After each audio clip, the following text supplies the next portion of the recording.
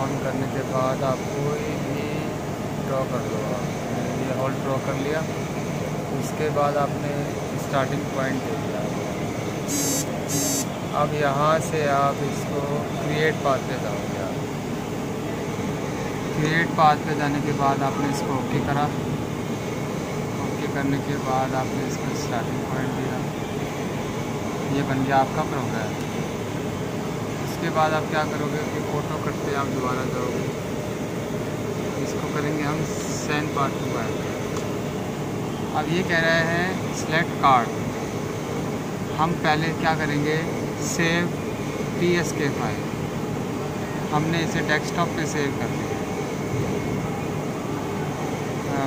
New नाम से। New नाम से हमने सेव कर लिया है। ये हमने कर दिया सेव अब आप ये क्या है? अब ये पूछ रहा है यहाँ पे देखना।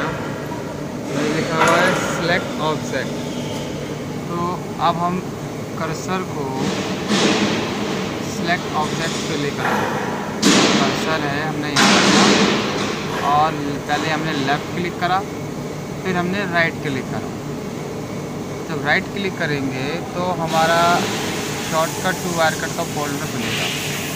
इस फोल्डर को हम ओपन करेंगे।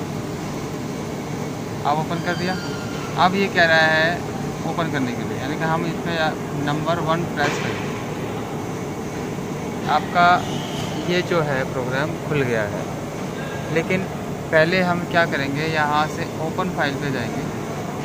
ओपन फ़ाइल पे जाकर हमने डेस्कटॉप पे सेव करा था न्यू के नाम से।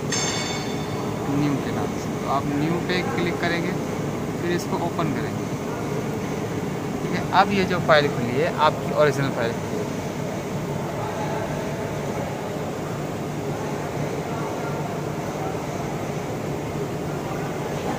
इस पर आप यहाँ देख सकते हैं, आपने यहाँ पर न्यू टास्क लिखा हुआ है, यहाँ पे न्यू टास्क लिखा हुआ है। ये आपकी ओरिजिनल फ़ाइल है, यहाँ पे न्यू टास्क आप इस तरीके से फ़ाइल खोलो आप, फिर आप देखो।